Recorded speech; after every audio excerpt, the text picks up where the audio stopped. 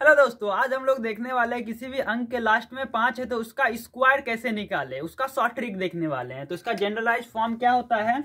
N five का square N into N plus one और यहाँ पे पच्चीस। यहाँ पे एन के जगह पे क्या होगा? कोई नंबर होगा, ठीक है? जैसे दो होगा, तीन होगा, बारह होगा, पंद्रह होगा लास्ट में क्या होगा? पाँच होगा। तो पाँच का स्क्वायर क्या कर देना? पच्चीस कर देना। और एन के जगह पे जो जो है, उसको पुट कर देना। जैसे मेरा पचपन आ गया, ठीक है दोस्तों? पचपन का स्क्वायर सबसे पहले क्या करना है? पाँच। लास्ट में क्या है? पाँच। तो इसका क्या हो जाएगा? पच्चीस कर देना। फिर क्या देखना है कि मेरे एन के जगह पे क्या दिया है? पाँच दिया है दोस्तों, ठीक है? फिर यहाँ पे क्या है कि एन में कुछ जोड़ा है तो पाँच एक छ।